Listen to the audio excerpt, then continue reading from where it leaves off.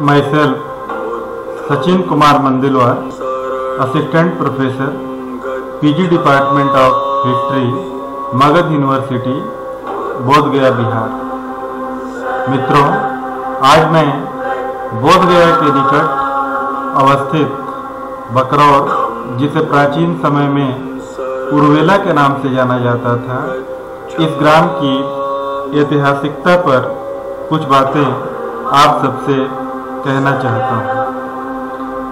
छठवीं शताब्दी ईसा पूर्व में जब हमारे देश में धार्मिक आंदोलन हुआ था, उस आंदोलन में एक धर्म का उद्भव हुआ, जिसे कालांतर में हम सब बौद्ध धर्म के नाम से जानते हैं। इस धर्म के संस्थापक गौतम बुद्ध थे। इन्हें एशिया का ज्योतिपुंज भी कहा जाता है। गौतम बुद्ध का जन्म पाँच सौ तिरसठ ईसा पूर्व में कपिल वस्तु के लुम्बिनी नामक स्थान में हुआ था। इनके पिता शुद्धोधन शाक के गण के मुखिया थे। इनकी माता माया देवी की मृत्यु इनके जन्म के सातवें दिन ही हो गई थी। इनका लालन पालन, इनकी मौसी गौतमी के द्वारा किया गया था। यह भी कहा जाता है कि इनके जन्म के समय एक भविष्यवाणी या आकाशवाणी हुई कि यह बालक या तो बहुत बड़ा सन्यासी बनेगा या चक्रवर्ती राजा बनेगा। इनके पिता यह नहीं चाहते थे कि सिद्धार्थ सन्यासी बने, इसलिए उन्होंने 16 वर्ष की अवस्था में ही इनका विवाह यशोधरा के साथ कर दिया और कालांतर में इन्हें एक पुत्र की प्राप्ति हुई, जिसका नाम उन्होंने राहुल रखा। कुछ वर्षों के उपरांत सिद्धार्थ जब कपिल वस्तु की सैर पर निकले तो उन्हें चार दृश्यों से रूबरू होना पड़ा। वृद्ध व्यक्ति, बीमार कोढ़ी, मृतक और सन्यासी। सन्यासी की प्रसन्नचित अवस्था को देखकर वे उस पर प्रभावित हुए, मोहित हुए और उन्होंने मन ही मन सन्यास धारण करने का निश्चय कर लिया।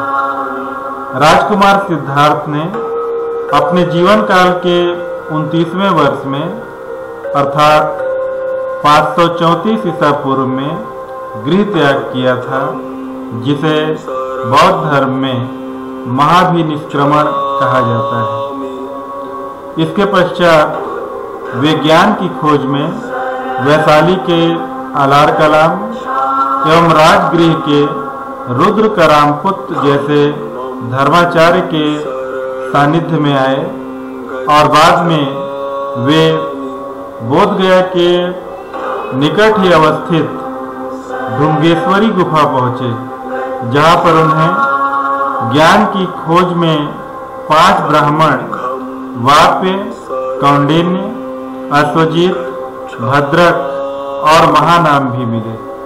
इनके साथ इन्होंने लगभग छह वर्षों तक तपस्या की। इस दौरान इनका शरीर जीर्ण शीर्ण हो गया था। सिद्धार्थ, गुफा के निकट मुआने एवं निरंजना नदी के द्वाब पर अवस्थित उरुवेला ग्राम की सुरम्य वनस्थली में पहुँचे, जहाँ उन्होंने वट वृक्ष के नीचे आश्रय लिया था। समय अंतराल में इस ग्राम को सेनानी और अब बकरौर के नाम से जाना जाता है। यह जो स्तूप दृश्यमान हो रहा है, इसे सुजाता स्तूप के नाम से जाना जाता है। इस गाँव के प्रधान की पुत्री सुजाता के निवास स्थल को चिर स्मरणीय बनाने के उद्देश्य से इसका निर्माण किया गया, जिसने सिद्धार्थ को खीर का भोग कराया था। इसका निर्माण गुप्त काल से लेकर पाल युग के मध्य तीन चरणों में किया गया है।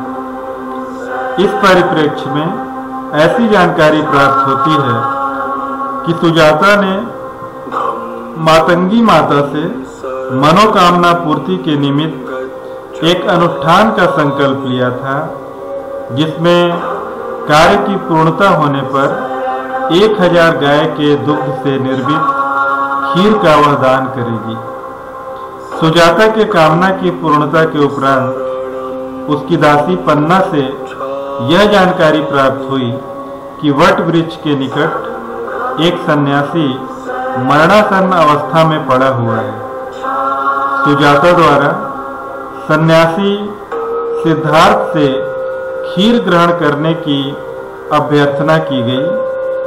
ऐसे समय में सिद्धार्थ के कानों में एक ध्वनि गुंजित हुई थी कि वीणा के तार को अत्यधिक कड़ा न करो कि वह टूट जाए।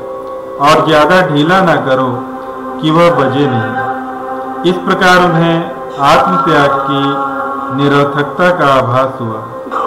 यहीं से मध्यम मार्ग का उद्भव हुआ। सिद्धार्थ द्वारा सुजाता के हाथों खीर ग्रहण करने से पाँच ब्राह्मण, वाप्य कौंडिन्य असुजित भद्रक और महानाम ने उनका साथ छोड़ दिया। पुनः सिद्धार्थ निरंजना नदी को पार करके पीपल पेड़ के नीचे ध्यानस्थ हुए, जहाँ पर उनके जीवन काल के पैंतीसवें वर्ष, लगभग पाँच सौ अट्ठाईस ईसा पूर्व में वैशाख पूर्णिमा की रात ज्ञान प्राप्त हुई और वे बुद्ध के नाम से विख्यात हुए। यह मंदिर आज के समय में वहाँ पर अवस्थित है और बोधगया का यह स्थल बिहार की राजधानी पटना से तकरीबन 101 किलोमीटर दक्षिण पूर्व में अवस्थित है। इस शहर को आज नगर पंचायत का दर्जा प्रदान किया गया है, जिसे सन 2002 में यूनेस्को ने विश्व विरासत की सूची में शामिल कर लिया है। Thank you.